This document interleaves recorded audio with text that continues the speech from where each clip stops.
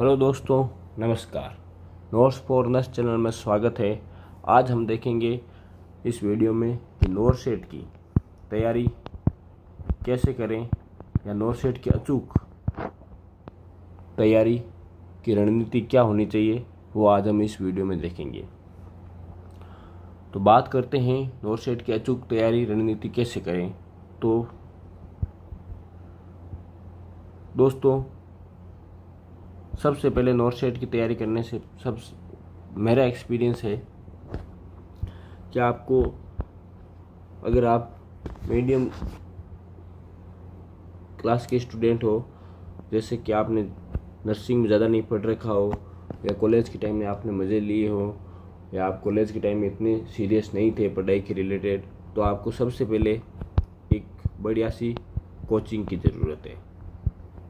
Coaching important है। Coaching आपको selection नहीं करवाएगी, पर ये गाइडेंस ज़रूर दे देगी कि क्या पढ़ना है और कैसे पढ़ना है। और आपको ये ज़रूर बता देगी कि क्या आपका लेवल कितना है तैयारी में, या किस तरीके की तैयारी आपको अभी और करनी है। कोचिंग का फ़ायदा यही है। और कोचिंग का दूसरा फ़ायदा ये है कि आपको बेसिक्स जितने भी आपके जो बेसिक्स हैं, वो आपको क्लियर ज़रूर करवा देंगे। फिर आपको कोचिंग करने के बाद में आपको खुद को पढ़ने, खुद को सेल्फ स्टडी करनी पड़ेगी। सेल्फ स्टडी में आप तीन चार बुक्स है नर्सिंग में, उनको आप एक ऑथेंटिक या ट्रस्टेबल मान सकते हो। जैसा कि आपको सबको पता है कि नर्सिंग में तीन किताबें हैं जो आप पढ़ सकते हो कोचिंग के नोट्स के अलावा। तो सबसे पहले हैं पी आर यादव सर की किताब, ठीक है, जो कि नर्सिंग स्टूडेंट्स में या जो नर्सिंग एक्सपीरियंस है, उनमें मोस्ट पॉपुलर किताब हम कह सकते हैं कि one of the most popular किताब है पी आई यादव इसके दो पार्ट्स आते हैं, एक थ्योरेटिकल पार्ट्स आता है थ्योरेटिकल्स भी आता है और एक क्वेश्चन वाला भी पार्ट आता है। ठीक है? तो आपको अगर थ्योरेटिकल पार्ट पढ़ने में इंटरेस्ट है या आपको लगता है कि कोचिंग मैं नहीं कर सकता हूँ तो आप थ्योरेटिकल पार्ट्स में जा सकते हो। अगर आप कोचिंग की हुई है तो थ्योरेटिकल पार्ट्स में जाने का कोई मतलब नहीं है, क्योंकि जो पी आर यादव में लिखा रखा है, वो आपको कोचिंग में सबसे पहले पढ़ा दिया है। फिर बात करते हैं क्वेश्चंस की। क्वेश्चंस इसके बहुत इंपॉर्टेंट क्वेश्चन है, और इसको आप जब सॉल्व करोगे तो आपको एक अलग ही इंटरेस्ट आएगा क्वेश्चन सॉल्व करने में। आपको एक मतलब रुचि पैदा होगी कि कि क्वेश्चन और सॉल्व करूँ मैं। क्योंकि सबसे पहले इसकी खास बात यह है कि इसमें जो क्वेश्चन दे रखे हैं, वो एक तो सरल से कॉम्प्लेक्स क्वेश्चन दे रखे हैं सिंपल टू कॉम्प्लेक्स क्वेश्चन दे रखे हैं। सबसे बात मुझे और सबसे बढ़िया बात यही लगी पी आर यादव की कि उसमें जो क्वेश्चन दे रखे हैं, वो एक जो नए एस्पिरेंट जो तैयारी करने वाला है जो तैयारी की शुरुआत की है नर्सिंग में तो उसको वो मतलब एक उत्साहवर्धक की तरह काम करती है कि उसको लगता है कि यार मैं और क्वेश्चन सोल्व करूँ। ठीक है तो आपको सबसे पहले मेरी राय में आपको पी आर यादव से क्वेश्चन सोल्व करने स्टार्ट करने चाहिए, जब भी आप क्वेश्चन सोल्व करो तो। ठीक है पी आर यादव के क्वेश्चन सोल्व करने के बाद में नर्सिंग की दूसरी किताब आती है, जिसको target high target high target high किताब इम्पोर्टेंट है और थोड़ी बड़ी भी है। इसमें आपको थ्योरेटिकल प्लस और क्वेश्चन। दोनों एक साथ मिलेंगे, ऐसा नहीं कि पी आर यादव की तरह क्वेश्चन अलग मिलेंगे, क्वेश्चन वाली बुक्स अलग मिलेगी, थ्योरी, थ्योरीज वाली बुक अलग मिलेगी। इसमें दोनों सम्मिलित हैं, लेकिन इसकी थ्योरी थ्योरी भी इम्पोर्टेंट है और क्वेश्चन भी इम्पोर्टेंट है। थ्योरी इम्पोर्टेंट इसलिए है कि थ्योरीज में ये, इसकी जो थ्योरी हैं, जितने भी इसके जो मतलब थ्योरी में जैसे कि समरी है इसकी important important important important topics की जो समरी है वो बहुत इम्पोर्टेंट है इसमें। ठीक है? मीन्स हम कह सकते हैं कि इसने जितने भी टॉपिक्स हैं या जो मोस्ट इम्पोर्टेंट टॉपिक्स है, उनकी एक क्लियर कॉन्साइंस समरी बना रखी है। जो क्वेश्चन बार बार पूछ रखे हैं, वही क्वेश्चन इसमें थ्योरी में और वही क्वेश्चन आपको क्वेश्चन में मिलेंगे। तो इसकी थ्योरी भी इम्पोर्टेंट है प्लस आपको इसके साथ साथ थ्योरी के साथ साथ इसकी क्वेश्चन भी बहुत इम्पोर्टेंट है। तो आपको ये भी पढ़ना है। और इसके नए वाले एडिशन में गोल्डन पॉइंट्स नाम से भी पॉइंट्स आते हैं, जो बहुत इंपॉर्टेंट है। और सीधे वन लाइनर क्वेश्चन इन गोल्डन पॉइंट्स में से बनते हैं। तो गोल्डन पॉइंट्स भी पढ़ने हैं, इसकी क्वेश्चन भी सॉल्व करनी है और इसकी थ्योरी भी पढ़नी है। तीनों आपको पढ़नी है। जब आप ये दो किताबें पूरी पढ़ लो तो तीसरी किताब आपकी जो कि हम कह सकते हैं नर्सिंग की गीता बोल सकते हैं, उसको तीसरी किताब को वो है, एनक्लेक्स सौंदर्स। ठीक है, एनक्लेक्स। तो एनक्लेक्स आपको तब पढ़नी है जब ये दो किताबें आपने पढ़ ली हो। पूरी पढ़ने के बाद में एनक्लेक्स पढ़नी है। एनक्लेक्स आपको, सबसे पहले एनक्लेक्स की आपको क्वेश्चन सोल्व करने, अगर आपके पास टाइम कम है तो क्वेश्चन भी सोल्व कर सकते हो। अगर आपके पास क्वेश्चन सोल्व करने के बाद में भी टाइम बचता है तो फिर आप इसकी थ्योरी में जा सकते हो। थ्योरी इसकी इतनी बढ़िया है कि एक बार आपने अगर थ्योरी पढ़ ली तो जितने भी प्रायोरिटी बेस्ड क्वेश्चन आते हैं नर्सिंग नोर सेट में, वो आप क्वेश्चन गलत नहीं करोगे।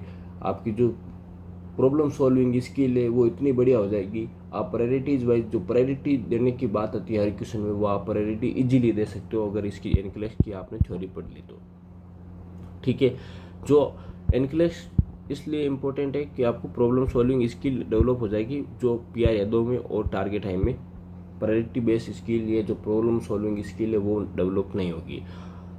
पी आर यादव और टारगेट हाई में जो वन लाइनर क्वेश्चन है वो आपके गलत नहीं होंगे। अगर पी आर यादव के और टारगेट हाई के आपने क्वेश्चन सोल्व कर रखे हो तो। और एनक्लेक्स अगर आपने पढ़ रखी है और एनक्लेक्स के आपने क्वेश्चन सोल्व कर रहे हो तो जितने भी प्रायोरिटी बेस्ड क्वेश्चन है वो आपके सारे क्वेश्चन सोल्व होंगे। लगभग चांसेस हैं कि सोल्व होंगे। जैसे कि आप अगर नॉर्मल किसी ने एनक्लेक्स नहीं पढ़ रखी और आपने एनक्लेक्स पढ़ रखी है तो उसमें दस में से आठ क्वेश्चन उसके गलत होते हैं तो आपके दस में से तीन क्वेश्चन गलत होंगे। इतना फ़र्क आ जाएगा अगर आप एनक्लेक्स पढ़ लोगे तो। जो आपका जो नज़रिया है या जो आपका तैयारी का जो लेवल है, वो एनक्लेक्स में पढ़ने के बाद ही आएगा, पहले कुछ नहीं है। फिर बात करते हैं कि आपको अब ये किताबें पढ़नी कैसे हैं, क्या पढ़नी है कितनी कितनी पढ़नी है इम्पोर्टेंट जो भी इम्पोर्टेंट इम्पोर्टेंट इसके जो हम कह सकते हैं कि फीचर्स हैं, सारी किताबों के, वो क्या है? तो टारगेट हाई का ये इम्पोर्टेंट फीचर है कि आपको ये बोरिंग नहीं फील होने देगी। जब भी आप लेके बैठोगे तो बैठ सकते हो आप बोर फील नहीं होगा आपको। मतलब इसके क्वेश्चन इतने सरल हैं कि आपको मतलब मन करेगा कि दो चार क्वेश्चन और सॉल्व कर लूँ, और और सॉल्व कर लूँ। ठीक है। टारगेट हाई का एक प्रोज एंड कॉन्स ये है कि नेगेटिव पॉइंट ये है कि आप जब क्वेश्चन सॉल्व करने बैठोगे तो आपको क्वेश्चन ऐसा लगेगा कि यार कोई कोई क्वेश्चन ऐसे होंगे जो आपको मान नहीं पड़ेंगे, उसका कोई तर्क वितरक मतलब नहीं है, बस उसको याद कर लो कि ये क्वेश्चन है तो ऐसो रट लो, बस ये है। तर्क वितरक में जाने के लिए आपको बहुत सी डीप स्टडी करनी पड़ती है, ठीक है। तो ये आपको तर्क वितरक के लिए इतना टाइम नहीं है। आप जो क्वेश्चन हार्ड लगे, उस क्वेश्चन को आप सीधा रट लो और वो क्वेश्चन आए तो ठीक है, नहीं आए तो सबसे बढ़िया है। और एनक्लेक्स में तो आप, मैंने आपको बता दिया है कि एनक्लेक्स पढ़ोगे तो आपका जो तैयारी का लेवल है, वो एक अलग ही लेवल पर चला जाएगा। इसलिए आपको तीन किताबें पढ़नी ज़रूरी है। सबसे पहले पी आर यादव पढ़ें, जो कि बहुत इंपॉर्टेंट है। फिर बाद में पी आर यादव पढ़ने के बाद में आप टारगेट हाई पढ़ें। यह भी इम्पोर्टेंट है। टारगेट हाई ये दोनों पढ़ने के बाद में अगर आपके पास टाइम है तो पहले इसके क्वेश्चन ज़रूर निकालें एनक्लेक्स के। अगर क्वेश्चन निकालने के बाद में भी टाइम है तो आप एनक्लेक्स की थ्योरी पढ़ें, ठीक है? और एक किताब और है, अगर आप ये तीनों किताबें पढ़ लिए और आपको लग रहा है कि अब और क्या पढ़ूँ, अभी तक भी मेरा सिलेक्शन नहीं हो रहा है, क्या कारण है, क्या वजह है तो आपका सिलेक्शन एक किताब है मौसमी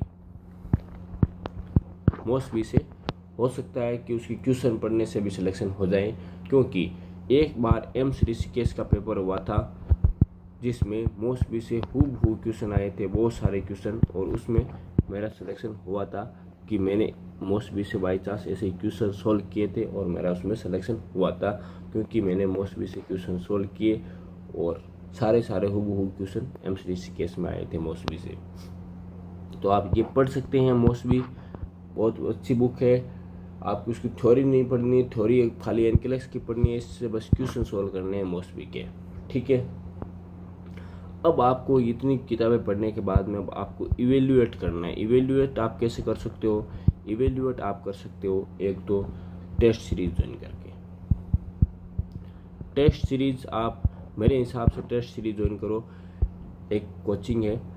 उसका मतलब मैं कोई प्रमोटर वमोटर नहीं हूँ। मेरे मतलब सेल्फ एक्सपीरियंस है, उससे बताता हूँ परियोग नाम से कोचिंग है। आप उसके पेपर्स अगर आपको ऑनलाइन मिलते हैं तो ऑनलाइन ले लो।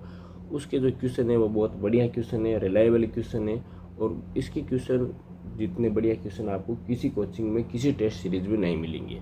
अगर इसके क्वेश्चन सॉल्व कर लिए तो आपको नोट सेट जो जो पेपर है, वो आपको फेमिलियर लगेगा। ठीक है? Thank you very much please channel को लाइक करें शेयर करें और सब्सक्राइब करें।